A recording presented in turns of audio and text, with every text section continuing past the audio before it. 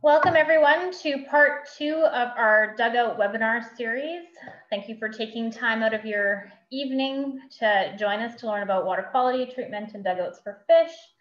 Uh, my name is Kelly. I work for Lakeland Agricultural Research Association. I'm very happy to have uh, Sean Elgart joining us from Alberta Agriculture and Forestry. Uh, he's definitely the, the go-to guy to talk about anything water. Um, I definitely love to use him as a resource. Uh, he's very knowledgeable and I'm really happy that he can come and present our dugout webinar for us. If you have questions anytime during the webinar, please either type them into the chat or into the question and answer section and we'll go over them at the end of the webinar. So I will turn it over to Sean. Thank you, Kelly. Thanks for organizing and hosting this. Uh, um, and I'm glad for those who are able to attend tonight. Uh, it's an important topic, especially at this time with the variable weather, um, some extreme weather we've been facing here. So this is part two of the uh, Dugouts webinar, where I'll be talking about water quality and treatment and dugouts for fish. And I'd like to run a poll just at the start here. It's the same one we ran in part one, but sometimes different people attend. So I'd like to run, if you could just uh, answer what kind of dugout you're interested in tonight, and you can choose more than um, one option. Um, last time, um, I wasn't, I guess I wasn't surprised. I was sort of expecting it, but it was the highest number of uh, votes for fire control for dugouts. So we'll just give a little time for people to answer the questions. And by the way, if I remember, it was around 40% that people were interested in fire control dugouts. So I'm not sure. Uh, Kelly will decide how much time she'll, she sees the votes coming in, so she'll decide when to end the poll and share results. And uh, okay, um, yeah, as usual, livestock watering is right at the top and maybe a little higher than normal. And we have a healthy number of irrigation dugouts and uh, stocking with fish. And tonight I'll be talking about uh, dugouts for fish, as well as recreational and household. Oh, and there's 60% uh, considering dugouts for fire control. So that's even increased since last time. Well, hopefully we won't need them for that, but it's good to plan ahead. Thanks, Kelly. Yes, so um, talking about water quality and treatment for, in dugouts, most treatment for livestock is done in, in the dugout, what we call in situ.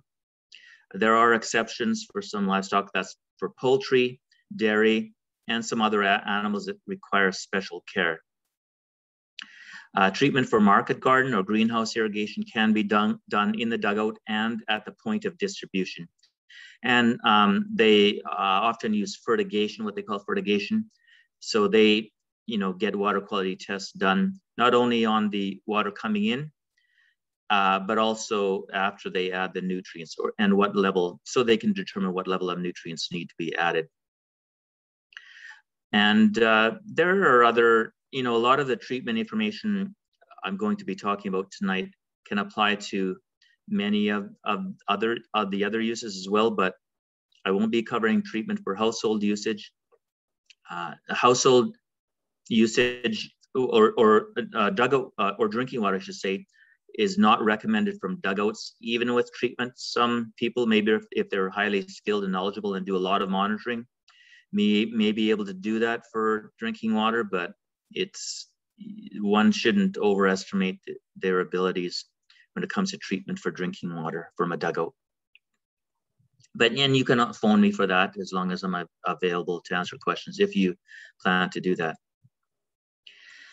So um, in, in dugouts, nutrient buildup can occur over the years. The sludge will build up on the bottom of the dugout. This contains precipitated chemicals from runoff water and, and the treatment chemicals you use for treating in the dugout, as well as dead biological matter like weeds, plants, um, blue green algae, can, uh, and even runoff leaves and twigs from surrounding bush can um, get into the dugout and cause problems and also sediments carry nutrients uh, and also turbidity into the dugout, which causes problems. And these no nutrients promote the growth of algae, cyanobacteria, which is blue-green algae, uh, and plants. So here's a schematic uh, new dugout on top where there's, you know, just newly constructed and there's no weeds or anything in it. But over time, uh, the weeds will grow in what we call the benthic area or closer to the sides of the dugout where it's shallower and the sunlight can get in. You can have floating algae near the top or at the top. And over the years, this, this algae falls down into the onto the bottom and also sediments fall down onto the bottom. And it builds up year after year and some people may not realize how much of a buildup can occur. You can use lose a lot of depth in the dugout and so your dugout becomes shallower more prone to heating up. And uh, also it contains a lot of nutrients. If these get mixed up stirred up with some you know turbid action a lot of you know water comes in and stirs things up then you know it can release some of these nutrients again into the into the water column. So every so often a clean out of the dugout is required. So this is essentially removing the sludge that builds up on the sides and bottom of the dugout and it really depends on the dugout but perhaps every 10 years uh, you may need to do a cleanout. If your dugout is in a waterway, you're going to have a lot more sediment building up more quickly, as I talked about in part one, uh, and more weed growth, and you're going to have to do those cleanouts more frequently as you would compared to another dugout. Trackhoes are common machines used for this. Uh, and again, you're essentially you're removing the sludge layer as well as the excessive plant growth. When you clean out the dugout, you'll have, if you have water in the dugout, well, when you clean it out, you'll have turbid water. Uh, and so you'll have to deal with that. I'll be talking about some treatments called coagulation to deal with water turbidity later on. Um, a two dugout system, as I talked about in part one, can help with dugout cleanouts because you can transfer the water out of the dugout before you clean it out. And so you won't have to deal with water turbidity nearly as much, um, you know, when, when you put the water back in. Uh, when you put the water in, try not to run it too quickly so you stir up a lot of sediment. You can have, say, a plastic chute um, with maybe rocks at the bottom to take out the energy as you're putting the water back into the dugout after you've cleaned it out. Um, and also sometimes, you know, the, the producer doesn't have an option uh, of you know taking the water out. You what you can just some people just pump it out onto the ground and it just they lose that water, but sometimes they can move their cattle to another source uh, when they're doing this clean out and then they do a treatment on it to reduce the turbidity so it's palatable water again after after the clean out. So here's a picture of cleaning out the dugout, removing that muck out of the dugout. You can see the pipe laying on the ground there. They've piped the water out of the dugout. Now they're just working with a bunch of sludge in the bottom. Every so often I do get calls uh, about dead animals in the dugout, which is unfortunate. This can occur from them getting stuck in the mud for a, period, a long period of time or falling through the ice in the winter.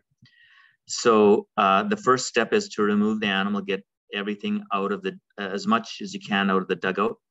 And then you coagulate the dugout. And I'll be talking about coagulation later on. Don't use chlorine bleach. This not only kills aquatic life and health of the dugout, but also can create potentially harmful byproducts. This is if you're doing everything with the water still in the dugout. And a lot of people, especially in time of drought, they need water. They have to deal with what they have. If if need be, you can use chlorine. I would advise that you phone a water specialist before to, if you do, you know, if you need to do this to kill any E. coli, for example, um, or harmful organic organism uh, organisms. I mean, uh, you can phone in just to you know make sure you do it right and if it's a proper procedure to use. As the saying goes, an ounce of prevention is worth a pound of cure. So you should try to do as much as you can to use the best management practices I talked about in part one to prevent the nutrients or other contaminants from entering the dugout in the first place. And so, you know, just some examples were grass, waterways, buffer strips around the dugout to prevent the, to filter out the sediments coming into the dugout. Um, and, you know, aeration, etc., cover controls to prevent the poor quality water coming in. And again, a lot of those are found in the Quality Farm Dugouts Manual. But sometimes if you're not able to prevent the problem from happening, and it, it does happen, people spend a lot of effort trying to prevent the poor quality water from happening, but sometimes it just happens. So then you have to take reactionary measures or what I call band-aid treatments. When you have to treat water in the dugout, problem water in the dugout, the first most important step is to identify the problem. Some people, a lot of people want to jump to the treatment part right away. So if they're talking to me, I always ask a lot of questions to identify what the situation is, what the problem is. Because without doing that, um, you know, you're just shooting in the dark. You don't, you can try something, but it may not work. And sometimes it may make things worse. So some of the problems that you can um, uh, come across uh, as part of the identification is our anoxic conditions. This is very low oxygen. And often in, in this um, state, anaerobic bacteria or de decomposing bacteria can uh, start um, growing and cause poor quality water, unpalatable water. Some cattle will just not drink certain types of water like this. Some of the most unpalatable water there is because they may not be able to taste toxins in, in the blue-green algae, which, which I'll be talking about, but uh, they can they can tell that this type of anoxic water is poor quality usually. Uh, also chemical constituents from runoff, so the fertilizers, road salts, uh, herbicides, other, other chemical constituents can end up in, in, in the dugout from the runoff. You can also have dissolved organic content, that's from leaves and twigs, water flowing through peatland, and, and just water percolating and throw, flowing through the soil, the surrounding soil can uh, present dissolved organic content in the water. Um, and this together with the nitrates and the phosphates from fertilizers and other sources can promote plant growth, algae growth, and cyanobacterial growth, which is blue-green algae. Um, those themselves are also water quality problems, those growths. As far as identification goes, you can phone water specialists such as myself, uh, as we're currently available, um, to help with identification but sometimes you do need to get water analyses done. You can get a standard chemical analysis. This, you know, some examples are the standard parameters such as uh, phosphorus, nitrogen, pH, uh, even uh, well, not oxygen, but you you that's not on the standard, but you can get that in addition. Uh, but um, there's a number of these types of parameters um, that you can get a standard test for, but you can also get special suites done as well. Sometimes, you know, a producer might be experiencing health problems with his cattle herd, and they might have an idea. They may have talked to a veterinarian before, and some things were ruled out, but they may have some suspicions. So you can get special suites done um, with parameters that are not on the standard suite of testing. You can also get tested uh, for tests for biological organisms such as cyanobacteria. For cyanobacteria, which is again is blue-green algae, um, you can get tests for the cell, the cell count, how many cyanobacterial cells there are. You can get uh, identification of the species. So whether it's microcystis or anabaena or other type of uh, species, and I'll be talking about this, this later, um, the species. Um, and you can also get tested for the toxins themselves. You can also get tests for E. coli done. I'm sure many of you are familiar with that feces related uh, bacteria. Uh, e. e. coliforms is the, or S. Escherichia coliform. Cryptosporidium, I talked a bit about that in part one. That can catch like wildfire in a herd if they're uh, watering directly out of the dugout, and Giardia as well, what they call beaver fever. Also, once you get your water analyses numbers back, uh, you can use the rural water quality information tool to, you can enter the parameters in that tool, and I'll show the tool in a little bit here, to determine the suitability for usage for various types of uses. And Kelly will be sending out an email with the website for this tool. And I'll just show it a bit here, some print screens of the tool online. This is an online tool. It's made, it was made for dial-up speed, so it should work fairly well. That's why it's low on graphics, but high on information. And so you can, you know, click to see the key features and how to use it, the directions link, and there's some sampling and testing information, what to get, what to sample and test for and how to sample. There's also a little bit of treatment information. It's would take so much to, you know, tailor uh, an online tool for treatment. So there's, we just provide a little bit of general treatment information. But once you're ready to use the tool, you click on the gray disclaimer bar, and then you eventually will come to, if you're using, if you want to assess the suitability for livestock, for example, you you will come to this page. And, and by the way, for livestock, you, there's cattle and horses, poultry, and swine. But there is also some irrigation, like for fruit crops, vegetables, uh, maybe a couple crops in there as well. You can select also.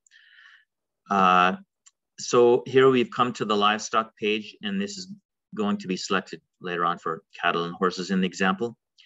And there's a, some parameters that are entered here. Only the parameters are, that are more common and more problematic are in the tool here. And so you enter your numbers here. You have to enter a number for the TDS or total dissolved solids. That's a composite of all the uh, dissolved together. And then there's a legend here. They use we use stop signs or similar to stop signs, and we have all the explanations. So green is pretty simple to understand. Green is good to go. And this tool is also for colorblind people, they can tell by the symbols alone. Here's just one part of a report that's generated. There was a parameter entered for fecal coliforms of 500 counts per 100 mils of sample. And we have general comments and guideline comments. Sometimes there are no guidelines. And so you'll see a blue, uh, a question mark inside of a blue diamond. And so, in the lack of a guideline, because they didn't feel it was necessary to institute a guideline or didn't have in, enough information perhaps at the time to institute a guideline, uh, you we give the best available available information. And a lot of people still do have questions when there's no guidelines, so we provide that information. And uh, continuing on with the water quality treatment, as um, as far as plant and algae identification goes, the different types of growths are submergent and partly submerged vegetation. And here in the sketch and the picture down below here, we see Chara, which is a fully submerged, uh, actually it's an algae. Hydrilla, um, which is also, also fully submerged, sort of looks like Chara, but it's a plant. These are, you know, growths are, that are weed-like growths. Chara is a weed-like growth, but it's actually an algae. And there's duckweed, which we there's a, a sketch of it in the bottom left here. Um, there's a it's sort of a tiny little four-leaf clover, maybe five millimeters the leaf in diameter with a root hair hanging down into the water. We call that partly submerged because the root hair is hanging down into the water, whereas the leaf is floating on top of the water. There's also emergent vegetation such as cattails and bulrushes, and floating vegetales such as water lilies one of my favorite natural flowers. Um, so I mentioned cyanobacteria. This is commonly called blue-green algae, which I'm sure many of you have heard about. Uh, the, the part cyan, the word cyan in cyanobacteria means blue-green. Um, it's not always blue-green. Uh, some, sometimes when it's dried, you can see the blue-green color um, more vividly. Uh, but if you, one very simple test you can do, an important test that you can do is put on a rubber glove and try to grab it um, in your hands. If it just remains like a slime on your hands, then it's not a filamentous algae, but it's a planktonic um, growth, which um, is most likely going to be blue-green algae. If you, if you, there are other growths that may be uh, just slimy, but most often it's going to be cyanobacteria. But you can also phone in for help to make sure for, to further identify identify what type of growth it is. But at least if you can grab it as a mass in your hand, you will rule out that it's uh, a non-toxic growth unless it's a um, rare type of plant that is toxic, like water hemlock, for example. But that's one very simple test that you should do. See if you can grab it as a mass in your hand. If you can, it's likely not a problem. If, if it's a slime, then it most likely will be a problem. So many species of this cyanobacteria exist, or blue-green algae. A very common appearance, perhaps the most common, is pea, a pea soup appearance, so a green pea soup. And again, sometimes when that gets a little dried and a little crusted up um, on the top, you can see a blue-green uh, color there. And sometimes it is always green. Uh, grass clipping appearance is also a common type of appearance, and I'll have some pictures here later on. Some some people actually about the grass clipping appearance here. Um, one person thought that they were just mowing around their dugout and the grass clippings fell into the dugout, but it, it was actually cyanobacteria. Uh, continuing on with the uh, assessment, um, you can get tests for it in a lab laboratory. As I mentioned, you want um, you know, examples of labs. You can look in the yellow pages under laboratories and phone them, but you can also phone a water specialist. We have a list of those labs that test for cyanobacteria. I noted that one lab stopped testing for them because it wasn't much of it wasn't a great business for them, so they stopped testing for it. But there are, are labs that still test for it. Um, again, yeah, you can call you know us for not only for labs but also to help identify identify the species. Sometimes I can often tell what it is via pictures. I ask for you know close-up pictures uh, in a jar and uh, in the dugout without falling in the dugout. Be careful. Um, and, and also one zoomed out picture as well. So a few pictures I usually ask for. And most of them I can tell over from the pictures. Temperature is an important factor for the growth of this cyanobacteria. And so when the heat wave struck, I got a lot of calls for cyanobacteria and afterwards as well, a few before. Uh, and I got more cattle deaths this year, most likely from cyanobacteria as compared to a lot of previous years. Uh, so, you know, this is something you need to be monitoring frequently. A percentage of these produce liver or nerve toxins, and it according to tests in Alberta, it's a quite a high percentage. So microcystin toxins um, is, is the, the type of toxin you will be testing for. Anatoxins, as listed in the last bullet, uh, have not been found in Alberta according to studies, but it's, it's potential. It grows in the US and other countries. So far, it's not being found in Alberta. So the only test available right now is for the microcystin toxin. Uh, there are there's one more species I'll talk about that's not that's a growth in your dugout that can be toxic, but we don't have a test for it right now. So that's the only test you can get right now. As far as the cystin toxicity levels go, uh, we have what we call a NOEL, a no observed effect level, and for cattle it's 4.2 micrograms per liter if you forget, you know, you can find the information again, but if you wanted to write it down, it's 4.2 micrograms per liter. I do get asked about that sometimes. There is no guideline for, um, uh, um, so, sorry, I'll, I'll, I'll stop that statement. Uh. I'm going to be talking a bit later about this. So here, just in the chart here, uh, that there is information for other types of animal species, sheep, pigs, chicken, and horses as well. And you'll see for pigs, it's a little higher uh, level compared to the rest of this of the animals here. They can put up with, you know, more than some animals in some respects. And there's also uh, an approximate equivalent cell count um, for a no observed effect level. And uh, here's a picture of what is most likely microcystis, if I remember. It's the pea uh, green soup color. But you can see on the bottom edge here, you can see this blue, green, or cyan color here on the crusty, more dried out part. I noticed there's some blue heron bird tracks here. I wonder if they they left after that. They because I, I've heard many reports of birds just leaving, uh, you know, water bodies with toxic growths in them. Just try and click next. Here's another more close-up picture, not the greatest highest definition, but this is a this, these are very small particles, all just becoming very dense into a pea green soup um, color. So that was um, that, the last picture was those two could either be microcystis or anabaena, just for to give some names out. It's a similar type of growth. This growth here, the grass clipping appearance growth, you can see some of the things that sort of looks like grass clippings, but this is a very dense growth. It started to clump together in big clumps. I don't know if I've ever seen a dugout this laden with um, cyanobacteria before, but you can still see the smaller grass clipping appearances here. This is called Aphanizomenon in Alberta.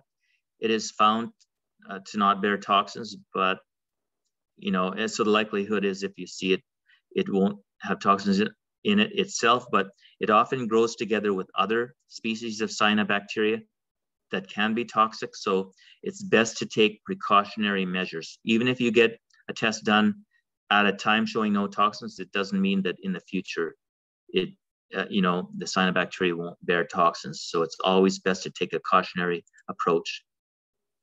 Here's another uh, type of growth, uh, nostoc. I've seen it in a number of dugouts. It's a green globular shape, and it can also produce toxins, microcystin toxins. So that's another species to look out for. Sometimes I just like to sit and stare at pictures. So I'll try to take my time and yak a little bit more. Here's another growth um, that previously wasn't thought as toxic, but I found out um, it can bear toxins. It has borne toxins in other countries such as this, the United States and uh, Australia. Australia is one of the foremost countries of cyanobacteria study, by the way because they have a lot of it. The conditions are ripe there for the growth of cyanobacteria or blue-green algae. So we, in Alberta, we learned some things about what they study there in Australia. But this, this uh, species here called euglena is neither a, a cyanobacteria or an algae. It is a protist. It's a very interesting, interesting organism, the most interesting I deal with in dugouts. This actually is a picture from in the Barrhead County, right nearby me here, um, that it started, uh, so it's a protist, as I mentioned. Um, it can either gain its energy from photosynthesis, from the ultraviolet rays from the sun, or by enveloping an organism and digesting it. So it has, you know, more than one way of, of uh, getting its energy. It's quite interesting. And this growth here started in the bottom left picture, it started off as a bright lime green growth. And that's one difference um, visually from cyanobacteria as, to, as compared to this growth. It From a distance, it can very look very similar to cyanobacteria, but it has that bright lime green appearance. Sometimes it can have a different type of red appearance also. But um, in the top right picture, this same this is the same dugout, the same growth on it, it turned red. So um, it, it, the sunlight was too bright, so it turned red to shield itself from the intense ultraviolet rays. So it, they, it wouldn't be killed because ultraviolet rays are harmful. I mean, we as humans can, you know, generate uh, vitamin D from the sun, but also we can get have skin problems too. We can get burnt and even worse, melanoma. So this is a mechanism where they've uh, developed to uh, shield themselves from the sun. And the farmer actually thought it was summoned through a bright green red paint, or there was a paint spill into his dugout. It was so bright red. so it was quite neat. And then it turned turned green again after it was red. So it was it was quite interesting to me. It was one one of the highlights of that year. Um, yeah. So here's a close-up picture of the euglena. This this is right on the top of the water. It's sort of a hydrophobic growth. It was sort of water repellent. Um, and so there were swimmers in the water below that because they have a flagella, they can swim. Uh, but this was sort of the more dried out, possibly dead part of the growth that you could see on the dugout. And you can see the bright lime green color.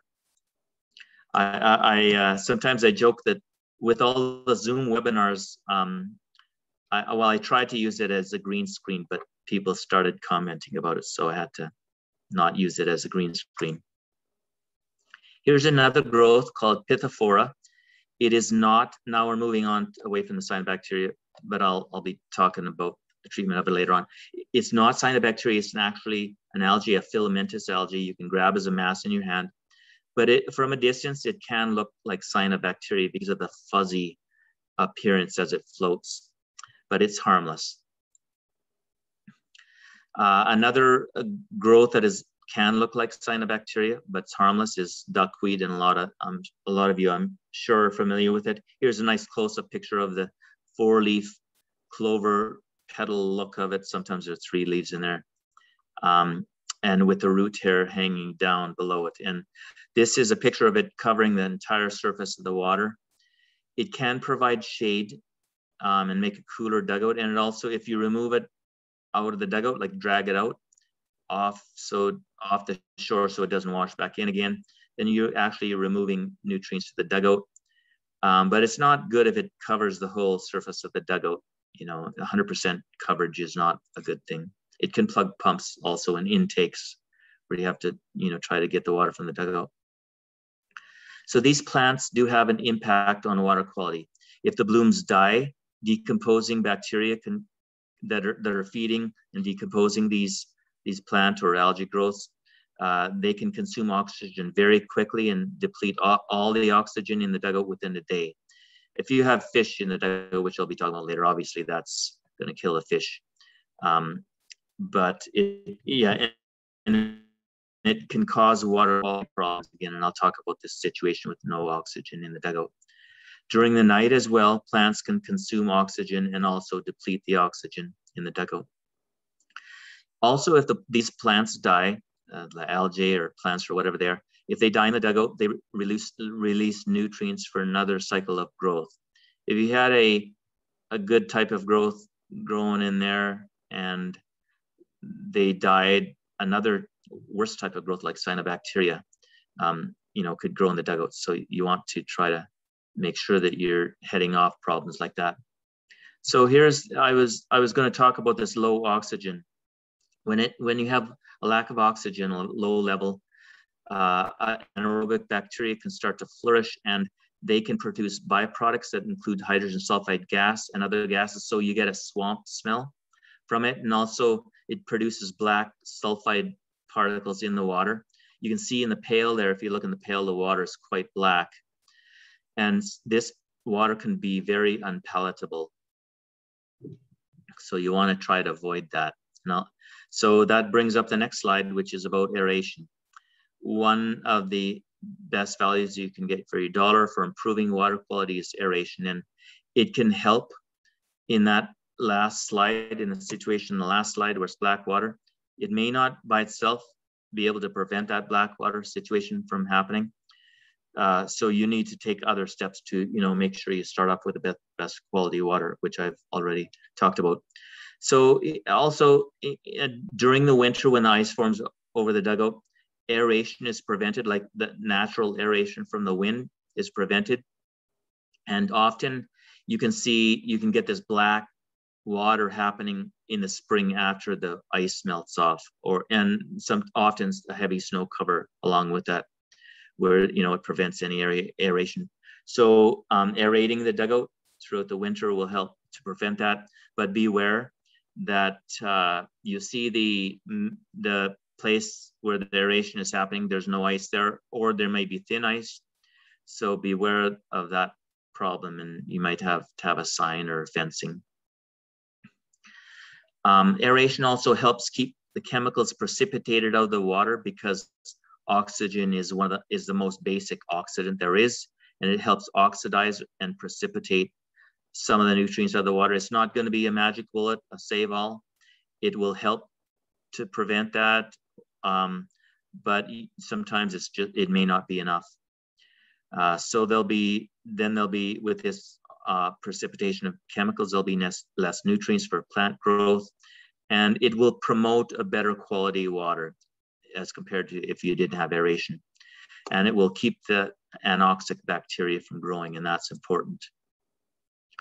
Uh, aeration should be installed at the time of dugout construction. I had a schematic in part one of them, you know, you throwing the air line in the same line as the water line to prevent uh, freezing of the condensation in the line. And you should have an oil-free compressor so you don't add oil into the water.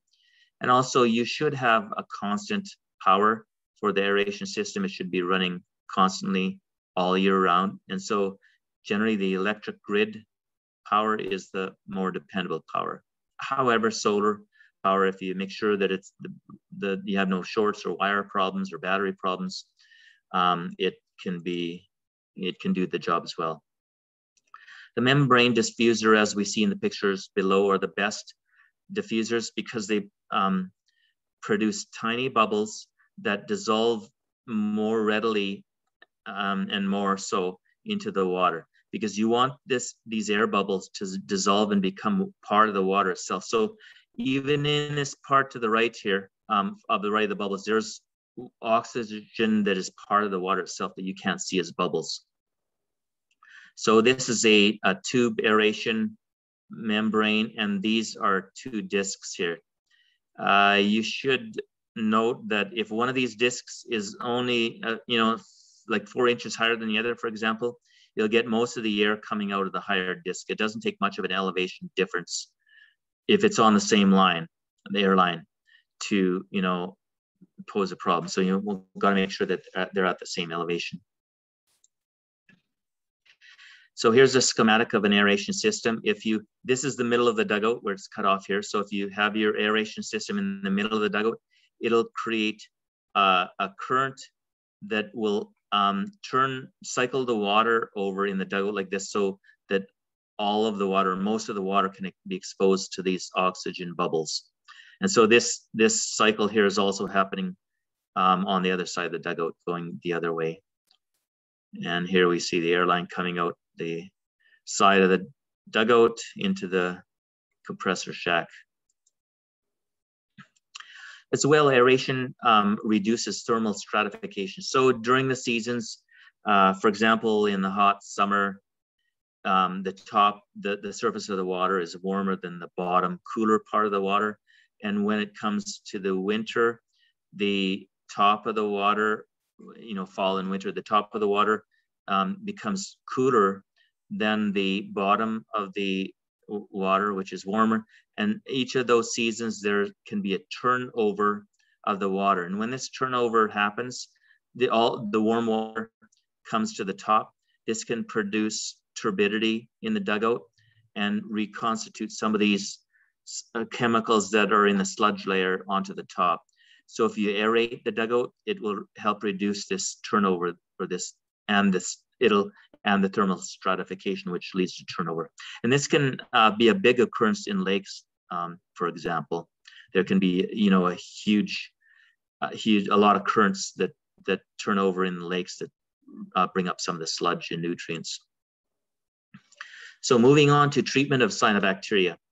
There are liquid copper products now that are most uh, prominent for, uh, as far as copper products go, liquid compared to granular um, for treatment of a cyanobacteria. I try to, a lot of people want to use copper sulfate, for example, which most copper sulfate granular products are not registered anymore, and I'll talk about that, that later. But um, but copper, I try to stay away from as, as much as possible when I recommend treatment for cyanobacteria, and it's the only time I would recommend treatment is for when there's cyanobacteria um, because it is uh, harmful to aquatic organisms.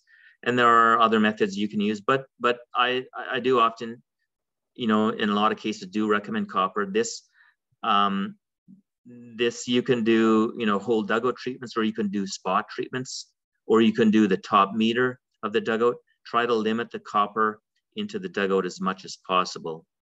Um, so if the wind has blown all the cyanobacteria, blue-green algae to one corner or one end of the dugout, you can treat um, in that area with the copper so as to not over apply the, the, the amount of copper. And uh, I've heard many stories of people throwing in whole bags of granular copper sulfate, a gross over application of, uh, of the product. You know, often maybe a half a kilogram is required for the whole dugout, even the or the top meter of the dugout. And that's sort of like for standard size of dugout. And even less if you're, you know, treating at one end of the dugout. So just be aware that, I mean, a lot, there's a lot of people over applying copper in the dugouts. Also, uh, the different products of copper as, that use, that is the active ingredient, they use various percentages of the copper. So you'll want to be sure you're calculating that out. I can, at this time, I can help with calculations for that. Um, some products may have it listed. Uh, well, the, the liquid copper products will have a label um, on the product itself of how to apply it. Uh, but often the bags do not have a label like that. And there's only one, I'll be talking about this later, but there's only one granular product available right now. And I think I have a slide about that later. When, if you use copper, you have to remove the cattle for at least three weeks after using the product because copper will lease or break the cells open, releasing all the toxins at once. At this time, it's very dangerous. Uh, the water can be highly toxic at this time. Um, but over the three weeks, the ultraviolet rays will degrade, will um, destroy the toxins that have been released. And uh, then at the end of three weeks or a month, um, then um, you know the water can be used again. Um, within a month, uh, I've heard stories that cyanobacteria can regrow. So I want I usually recommend to follow up with coagulation to remove the nutrients afterwards, which I'll talk about coagulation uh, afterwards. So so treating treating with copper will, uh, as I call it, nuke the the cells and release the nutrients for another potential cycle of regrowth, which has happened. So that's why I advise to follow up with coagulation. As I mentioned, copper is toxic to living organisms, so you want to try to avoid as much as possible and, and no, not over apply and reduce where you can the amount of product used.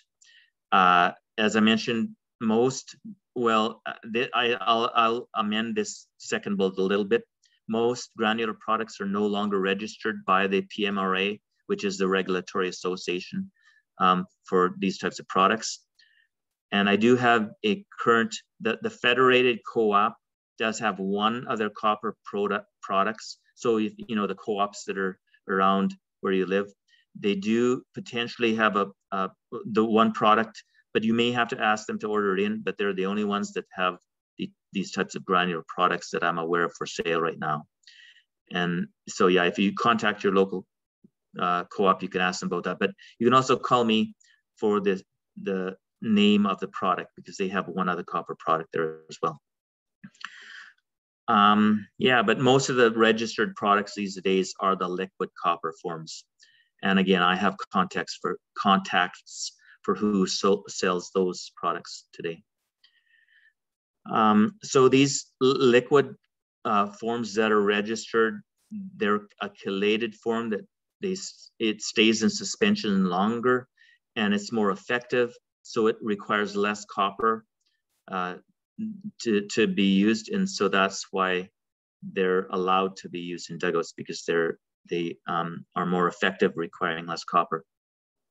Some of the names of the products of these liquid products are Cutrine-Plus, Algae Boss, Polydex, and Think Purity. If I ever say that name, Think Purity over the phone, I have to repeat myself a few times and spell it out. I hope, I wish they would have chosen a different name. So now um, I'm gonna follow up with co coagulation now. So this is a, a follow-up treatment for copper, copper that can help remove, uh, uh, you know, the nutrients out of the dugout. However, it can be used by itself for treatment of, of cyanobacteria, uh, but I would more recommend you know, go with copper first and then follow up with hydrated lime or another coagulant. So this hydrated lime can uh, kill the cells and lock the cells. They, they don't break the cells open, so this, the toxins, if they are in there, remains in the, remain in the cells until they slowly degrade on the bottom. So it, it locks the weight, it, it pulls the cells down to the bottom of the dugout on the sludge layer and locks them away there while they slowly degrade. Studies have shown that um, toxins are, you know, effectively reduced. But if there is some turbidity in the dugout and the sludge is, uh, you know, brought back into the water column, it's a it's potential that some of that those toxic cells for a period of time could come back into the water column. So that's why it's a good idea to treat with copper first. Uh, but with hydrated lime, many algae are, so sorry, yeah, so I, I, should say many algae are resistant to copper. So this is the filamentous algae that you can grab as a mass in your hand, the weed-like growths.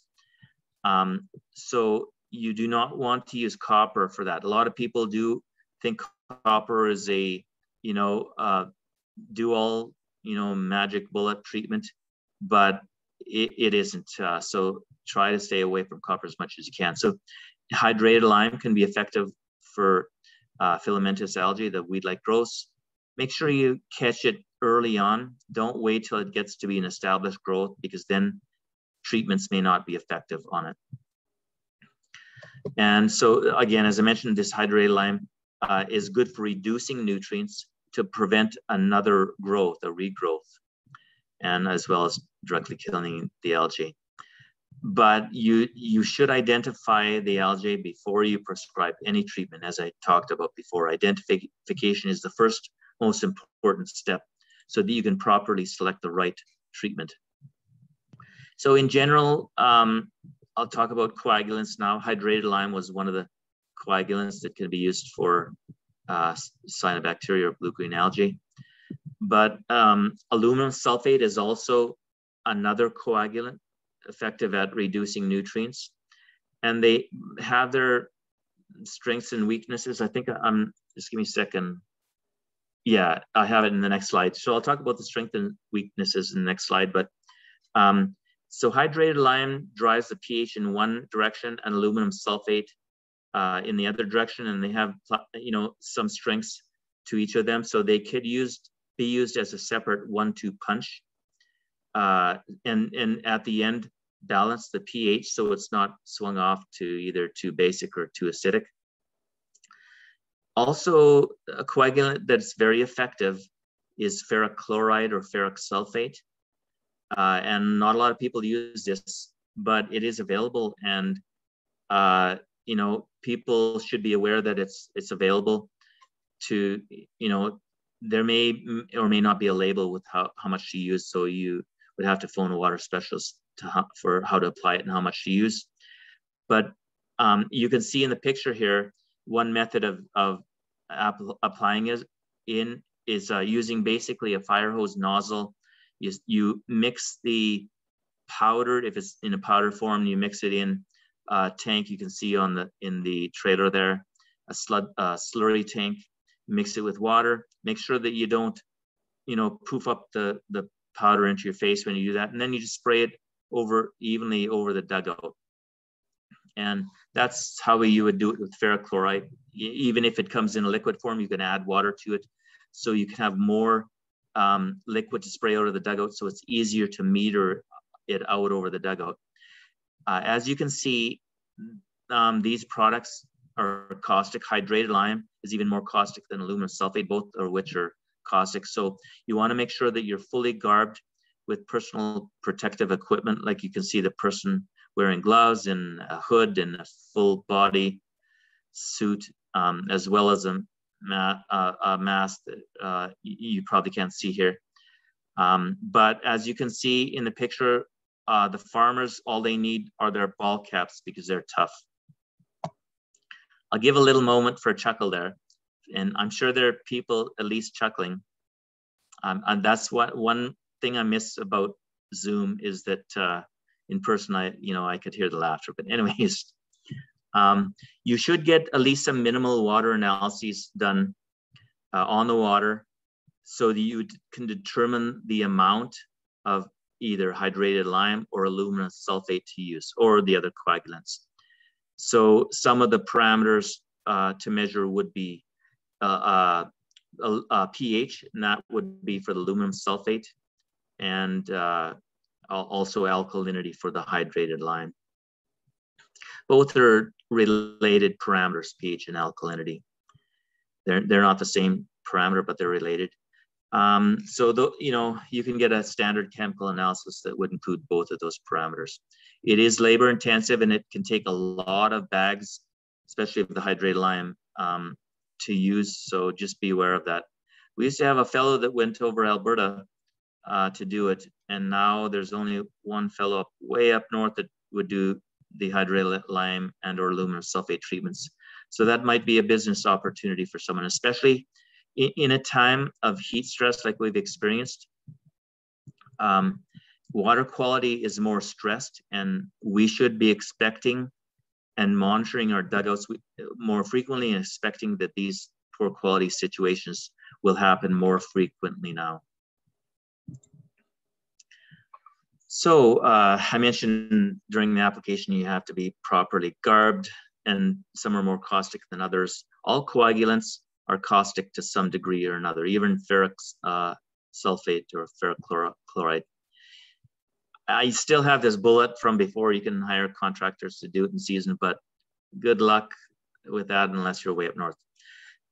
Uh, now, I, I, mentioned I did want to go over a little bit of the last bullet some more each about each coagulant has its strengths and weaknesses. So aluminum sulfate is more effective when there is dissolved organic content. So if you have water flowing through peat, you get that brown color in the dugout, uh, or leaves or twigs uh, dissolved in the dugout that produces that brown color, or manure runoff that has that brown color in it. Aluminum sulfate is more effective in that uh, situation. And hydrated lime is more effective when the water is turbid. So tiny little suspended particles in the water producing turbidity. But each has some effectiveness in, in those areas. You can also use colorants. This is something very simple and highly recommended that you do early spring before the growth season starts, before these blooms can start to grow. Uh, essentially, these colorants is, is, is that uh, they're a dye that block the ultraviolet light thereby inhibiting aquatic plant growth. Don't expect it to be a save-all. Um, it's one thing that may help prevent the growth of the more toxic, the most dangerous growth, such as, uh, uh, well, which is cyanobacteria or blue-green algae, and perhaps euglena as well, the two toxic types of growths. And uh, you know, you, you may need to retreat after a month if if a runoff or if a runoff has occurred, the dye can dilute after a while and be not as strong. Uh, one of the people, Randy Eamon, the dugout dude, he sells a dissolvable plastic baggie that's in with within another plastic bag. So you remove the dissolvable bag out of the baggie, put a glove on because there's dye that you know br- through the dissolvable bag. And do not open the inner bag, otherwise you'll have to join the Blue Man's group and learn to play the pipes because it will it will color you blue like a smurf. You just throw it into the middle of the dugout and let it dissolve. So easy, so cheap. I think he was selling them for $25 a bag. Yeah, and I mentioned to, to apply it before the growth season occurs. Now moving on to aquatic herbicides. Uh, these are contact herbicides, sort of like the herbicides you the, the farmers spray on their crops. Uh, um, this is effective on many submergent and emergent aquatic plants. Uh, again, these are plants. Um, in the commercial brands, you'll hear about a Reglone and Reward. I do have contact information and some label application for Reward handy. And uh, that, but they are not effective on most types of algae. So I mentioned they're effective on many plants, but not on most types of algae. So again, you have to make sure to identify what your growth is. Uh, and you have to make sure that the products are approved for use in Canada. Uh, if you were to, you should consider this to remove the plants physically. This way you don't, you're not applying chemicals or, uh, you know, things could that could harm the aquatic life of the dugout. And you'll also be removing nutrients out of the, out of the dugout. So it's almost like purifying. If you, and some people I've talked to do physically remove the, whether it's duckweed or algae, they have different devices to do that. Down in the States, it's even worse and they, there's a lot more work that's done on physical removal of algae or plants.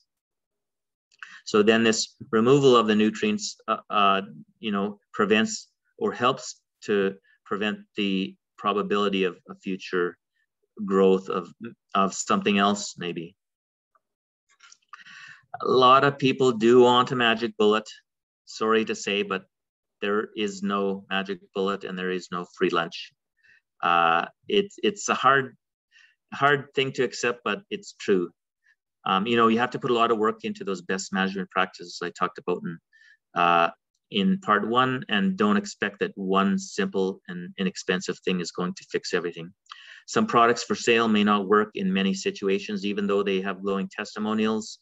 Sure, well, we can all read, we've all read a lot of things on the internet. We all know that 99% of what's on the internet is true, but there's that 1%. Of course, I'm being facetious, but um, yeah, beware of what you read on the internet. Uh, and again, you have to gather uh, the necessary information before you can make an informed decision. Moving on to dugouts for fish. Just checking the time, we're good for time. It shouldn't take too much longer here, but this one is a little longer than the first part one. So hopefully there'll, there'll be enough time for questions. You know what? I do see some questions. So um, I'm just gonna answer some questions. I just noticed the chat. Normally I don't follow the chat, but I'm just gonna answer these questions before you move on to dugouts for fish. First question, what does a fountain do for dugout water quality? Well, a fountain can help introduce some oxygen into the dugout, but it's nowhere near as efficient uh, for introducing oxygen into the dugout as compared to the membrane diffusers. It also will help uh, cool a dugout off, and in an emergency, it can be used for a fish dugout. Well, actually in an emergency, if you see your fish are dying um, or there's a problem, you could throw just a pump in the water to spray the water up in the air.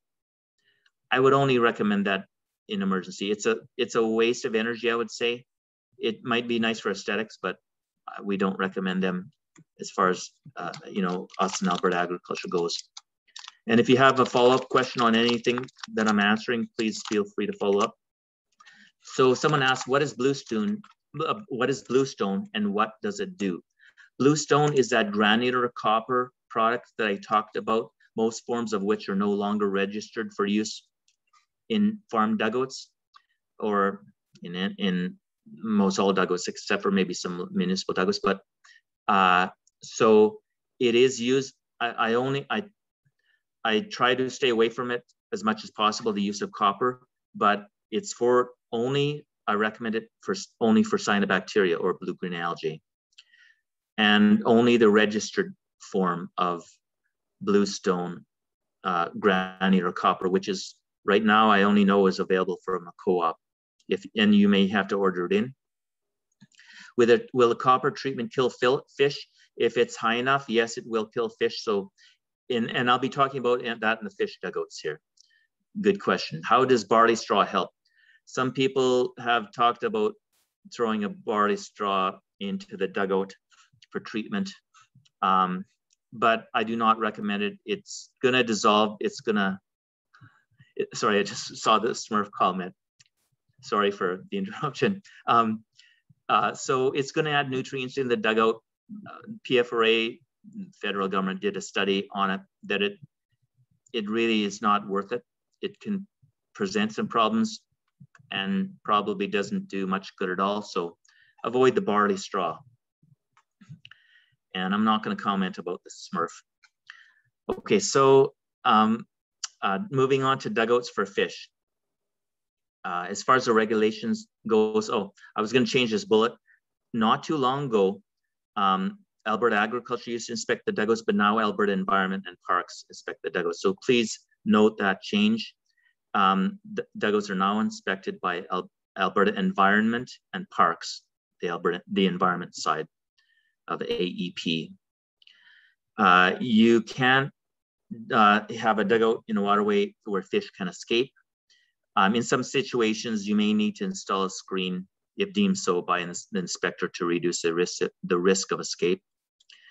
Uh, there is some in, information available on the rope and sorry, I, I didn't change this. It's, we used to have our Alberta Agriculture website used to be called Ropin' the Web. It's now just called Open Government. All government websites are in this open government system now. But we do have uh, a website on uh, licensing for fish dugouts, and Kelly is going to send that out by email after the webinar. And there, well, there were workshops available. I guess I should remove that bullet because I'm not sure if there are any workshops available now. A lot of staff have been reduced in the government. So, but but at least a dealer, a, a private dealer, can help guide you through the process.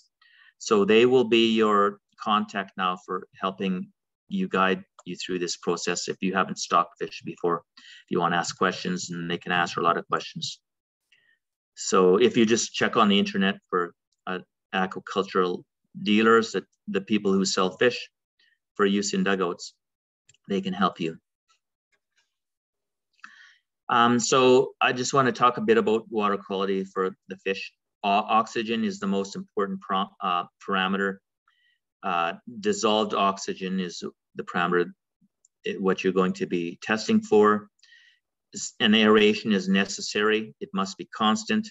That means the power grid you can't just have a windmill because when the wind dies down, the oxygen will drop and it will take a long time to get the oxygen levels up again. So it's best to be on a dependable power supply, the power grid. Um, but if, if you're checking your, if you have a solar system with batteries and good wiring, checking it every so often, make sure it's working, you could, you could get away with a solar system or a dual uh, solar and windmill. Make sure you have those batteries operating though. You should have your aeration system well, running well ahead of time before you put the fish into the dugout to bring the oxygen levels up and test it, make sure your dissolved oxygen levels are acceptable. You should invest in a dissolved oxygen meter. If you're gonna be having dugouts for fish, this is you know a pretty simple decision to make. They're inexpensive. You can get some more inexpensive ones and I would even recommend this uh, in general, even for dugouts, not for fish, if, if, if it's for livestock, for example, to keep, you know, to make sure that you're, you're not going to run into a water quality problem. Uh, as I mentioned, if you if there's an emergency, if your aeration system has failed, uh, you can throw a pump in the water, and just like the fountain question, you can uh, shoot the water up into the air, and you know, rather than taking the time to install an aeration system, you can get that, uh, you know, the the water cooled off, and uh, water, you know, uh, air getting into the water more quickly, and the the fish will probably hover around the top. They might gasp for air up at the surface as well, or near the surface, and so where that water is being pumped out up and onto the surface, back onto the surface, they, the fish will congregate there if the oxygen is low. When the weather is hotter, it has its uh, water is like a sponge. Um, so it can absorb oxygen, but when the water is the weather's hotter, it's like the sponge is being squished and it can't absorb as much oxygen. So the that's why the there'll be angler restrictions in hot weather. And you may notice I went fishing in a river one time and I saw in a very short dead time 10 dead fish on the shore. And there was about a billion sea creatures died on the west coast uh, during that hot weather stretch there because of the lack of oxygen in the water and the heat stress as well, but mostly the lack of oxygen. So if this happens, you may have to stop feeding your fish for a while. When you first get the fish, you should, you know, put a little bit of water from the dugout into that uh, tank that they're in or the, the container that they're in when you get them And so you'll slowly acclimatize them to that, the new water by, you know, introducing a little bit by bit over a period of time. Be aware that some dugouts, if, if you haven't stocked them fish in the dugout before, they may have high salinity. So that's another reason to get your water tested. And some are fresh freshwater fish, they do not like salinity. As well, salinity can uh, so salinity can run off overland into the dugout, or if you have a groundwater dugout, it could seep in through the bottom or sides of the dugout, the salinity, and present water quality problems. If some fish are dead, if you notice a few fish are dead on the shore, it's likely that there are a lot more that you haven't seen if you've stocked fish in your dugout. Uh, you can get tests done uh, for the water quality at a private lab, but you should purchase your at least minimal kits such as the temperature, dissolved oxygen, pH, and salinity. At least those parameters, you should have your own tested kits to do that. Uh, you do need to maintain your dugout to keep acceptable conditions. You can use the general maintenance practices that, that I talked about in part one, but you should also be aware that you know fish are more susceptible to certain conditions than than other uses are. Uh, if you're going to clean the dugout, remove the fish before you clean the dugout because you're going to create a turbid water, which is problematic for the fish. And then you should do a coagulation treatment, which is also going to harm the fish. So remove the fish when you do that. You can reduce treatment applications. So someone asked, will copper kill fish? Yes, it can kill fish. It's harmful to aquatic life. So you can try to use those spot treatments at a lower rate. It is possible, lower percentages of like 40, 40% of a normal dose. And, and, you know, try one treatment, may not do it all the time. Then later on, because the copper will eventually fall down to the bottom uh, sludge layer, you can try at, uh, adding another treatment. Um, some people may ask if you can eat fish in dugouts. You can go, you can check out Alberta Environment Parks and Alberta Health Statement. But if you're not eating the brain, skin, uh, you know, any of those or any organs of the fish, if you're just eating the flesh part of the fish, uh, it's likely not going to have any toxin accumulation in, in that part. You can read further on the website about that. Uh, if duckweed covers the entire surface of the dugout, oxygen levels can be depleted, natural aeration can be prevented. Again, you should have an aeration system though, but, but if the duckweed dies off, I'll be talking about this in a later slide, I'm sure, then that can create a real problem for your water quality because the decomposing bacteria will be feeding on the duckweed and it can reduce, drop the oxygen levels in one day. Hopefully the, your aeration system will be able to at least provide a pocket in the dugout where the fish can congregate to for to breathe. So there, there was a fact sheet here about target quality. I'm not so sure it's available anymore on the internet, but I do have a copy. But it goes over the, you know, the basic parameters that you need to make sure that are within acceptable conditions. Uh, so you want to meet that target quality. You want to get initial tests done before you stock fish in it, and then at least minimal parameters ongoing, like those four parameters that I mentioned temperature, dissolved oxygen, etc., pH. Um, I already mentioned about the copper harmful to fish and the spot treatments because of the question that was raised. As far as the design of the dugout goes, the deeper the better, um, at least a minimum of 15 feet. I know people have gotten away with a little less than that. Beware of predators, birds, fish, and mammals.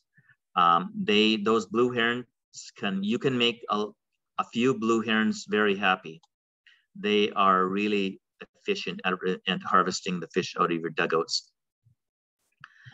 Uh, and and you know you don't want the the mammals in there that'll eat the fish. Plus, they also destabilize the slopes, making holes in your dugouts.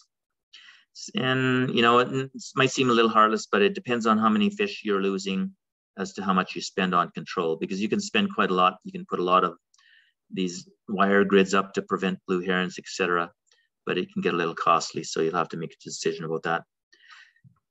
Hopefully you'll be able to see this fact sheet online, but I'll try to remember to send Kelly the fact sheet she can attach in the email. for predator control. Uh, continuing on with maintenance, uh, to when you inspect your dugout regularly, it should be done. Uh, you should check and see if your slopes are be, being deteriorated by mus muskrat, muskrats or cattle, or sloughing if there's a higher percentage of sand. Uh, and you should check to see if the water has a color, like a brown color or a dark black color. Is there's is it turbid? Does it have algal or plant growth? Does it have a smell? That smell, you know, if it's a, swamp smell, it could be an indication of a low oxygen. Check if your aeration system pumps and intakes are working. Sometimes a compressor can fail, for example. Are the buffer areas damaged?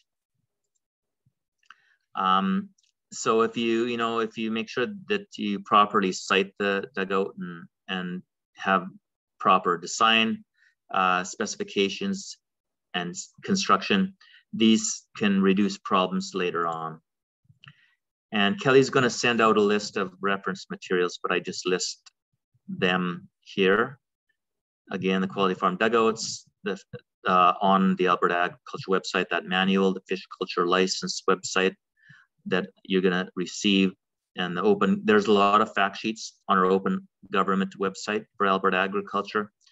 A lot of these are linked through the rural water quality information tool that I showed you, as well as federal government fact sheets. But if anyone has questions, now is the time to ask them. And I see there were already some good questions. I don't, um, there might have, oh, there was another, sorry, answer, it says, what if you have 25 plus dugouts? I assume it's in reference to uh, aerating and managing them and maintenance of them. Yeah, um, that is quite a, an operation there. You will, okay, so you will be spending, you should be spending, you know, a lot of time maintaining if you're using them when you're using it. And before, if you're going to be moving your cattle onto it, go pre-inspect it ahead of time. You can get monitoring devices. Uh, so you can either get a notification through your cell phone uh, for, for your pumping systems. If your pumping system fails, you can get a notification through your, through your cell phone, or you can have a light. If you can, if say if you only want to be driving down the municipal road looking at your dugout, you can see a light warning if your pumping has system has failed, if there's some failure with your system. Uh, there are, are, those systems available. Um, it is sort of an open-ended question about 25 dugouts, but I would definitely spend some time monitoring and maintaining the dugouts, make sure you're staying on top of the problems before, um, you know, before they happen. Uh, and sorry, the, the just derailed me. Um, uh, there was one other thing. Yeah, pre preventative means like, you know, those dye, those dye packets, make sure you get on it right away. And the, there's a fall inspection that you should be doing before the winter comes and then a spring inspection. Those are two of the most important inspections for some of these aspects that I'm being saying. So, for example, in the springtime, when the ice thaws, you may end up with a, because the ice has been preventing natural aeration, you may end up with a black water that has low oxygen. So you'll be wanting, wanting to look uh, about that. Have I missed any other questions, Kelly? Uh, no, but I do have one for you. Okay. Um, we're currently installing a diffuser and aeration system on our dugout. Um, and so it says like the diffusers only last a certain number of years um, for maintenance of them and to be able to check that it's working. Is it best to stick like a rope to it that you can pull it up or how would you best maintain your diffuser? Yeah, you, you should have a rope to be able to pull it up.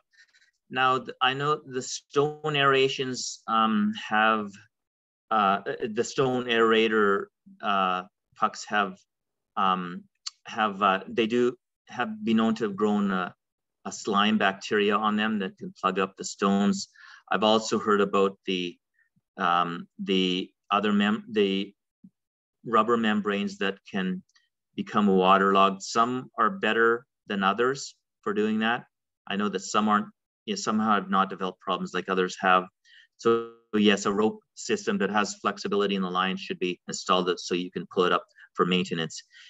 I don't know what specific problems they've had, whether it's or if it's a stone or rubber membrane diffuser. Membranes, I would say, are superior. You know, try to try to get a good quality. Although I can't tell you which uh, company would have a better quality one than the other.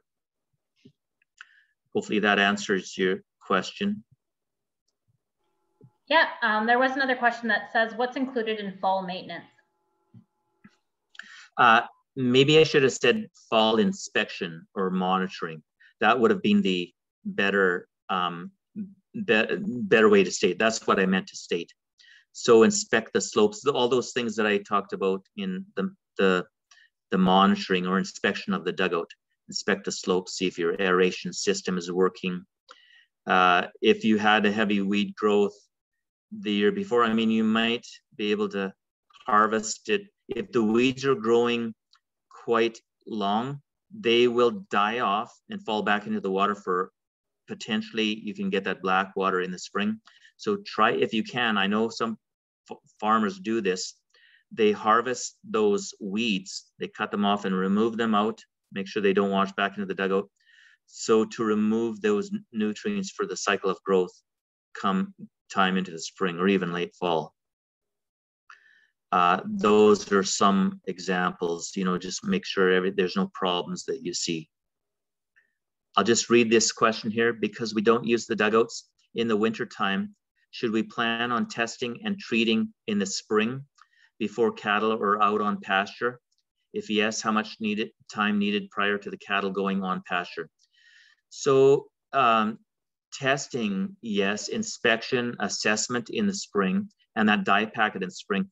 But and and, and if you do have a brown water, like sometimes you have, you know, a manure type of water that that um, that comes from spring runoff, and this is quite common. You can do a coagulation treatment. Aluminum sulfate would be the best, or the one-two punch, both hydrated lime and aluminum sulfate to balance the pH out in the end. That can get time consuming costly. So if it's only one, use aluminum sulfate. That can that treatment can be done in the spring. But other treatments, such as for cyanobacteria, for example, which is the most problematic growth you're going to have on the dugout and most co common problematic growth, uh, you can't really do that until the growth develops. So there, there will be, there may need to be some reactionary treatments for that cyanobacteria. But do that as early as you can. Try to catch it right away. So that's why it's important to monitor the dugout frequently to catch it right away. You know, human health problems, if it catch it earlier, it's better than later on. Some of these mature growths are very hard to eradicate if they're algae growths. But generally, even a mature cyanobacteria growth or blue-green algae growth, you can do a reactionary treatment more effectively than a weed-like growth. Um, so the time needed prior to cattle going out on pasture, uh, so if you're adding chemicals for coagulation treatments, uh, it doesn't, I mean, might be a week for a herbicide treatment, a week for after the treatment of, of coagulant will be sufficient before the cattle go on to pasture. But if it's if it's for treating uh, using copper treatment, uh, on cyanobacteria, which normally doesn't happen in the spring. It's only later when the when temperatures get hotter that the cyanobacteria or blue-green algae will grow. You need to remove the cattle after the treatment with copper for blue-green algae at least for a period of at least three weeks, so those toxins can degrade in the sunlight. Uh, another question, A Aquamark uh, WSP, why are they recommending twice a year? Um, sorry, I'm not sure what that question is referring to. WSP is an acronym that I'm not sure. Is this a company that has a certain product for sale? If so, I haven't heard of Aquamark. I could I could do an internet search for it, which is normally what I do when a person phones in. If you want to phone me uh, tomorrow afternoon, I will be available. Actually, um, I'm just going to type my phone number into the chat here, by the way. This is my cell number since I'm working from home right now, but not for much longer. So there's my cell phone. Now I'm gonna see if there's a follow-up to this. I think there's more typing in that. Aquamark is a dye. Oh, oh, why are they recommending twice a year? Well, if a runoff occurs, the, the water will be diluted. Also, it just, you know, it, it wanes in, in strength of the dye and the dye will prevent, help prevent photosynthesis. So you do need to re reapply this dye every so often, depending on the dugout, you, and you may need more dye if it's a larger dugout. So that's why they're recommending it twice a year. But if you have a big runoff, you may need to throw it in even, you know, more frequently than just whatever twice a year. Good questions. Yeah, and just to reemphasize, so more than ever, we need to be checking our dugouts, uh, monitoring them and make sure, sure that we don't have any of these problems. Cyanobacteria, blue-green algae being the worst problem that you'll need to be monitoring for. Again, I've had the most calls of cattle deaths uh, from Alberta and Saskatchewan than I've had in a long time because of that heat stroke, the, the heat wave we had. I mean, very good. It looks like, I think I've covered, did I miss anything? No, I think that was fantastic. Thank you so much for your presentation. Um, everybody should be getting up a follow-up email in the next few days with all the uh, references, um, as well uh, as any other information that we uh, kind of gathered from uh, these presentations, as well as a link um, so that they can rewatch the presentations as well. So I will stop recording.